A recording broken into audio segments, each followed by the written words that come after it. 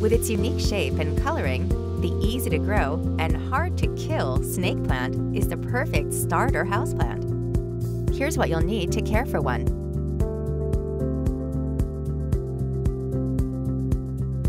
Choose one in slightly moist soil with unbroken leaves and rich green color. You'll also need to select a planter that's slightly larger than your plant, so there's room to grow. To pot, fill the planter two-thirds full of well-draining soil, then dig out a spot for the new plant. After removing it from the container and loosening the roots, gently press the plant down into the hole. Then add soil around the sides and top it off within an inch of the planter's rim. Your snake plant should do well as long as it gets plenty of indirect bright light. It's also very low maintenance and only requires water when the soil is dry to the touch.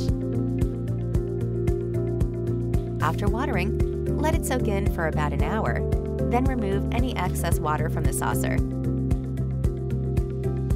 Then, once or twice a year, feed it with a high-quality houseplant fertilizer.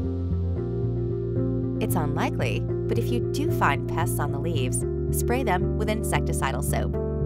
With minimal effort, your snake plant will thrive for years to come. Good luck, and thanks for shopping at the Home Depot.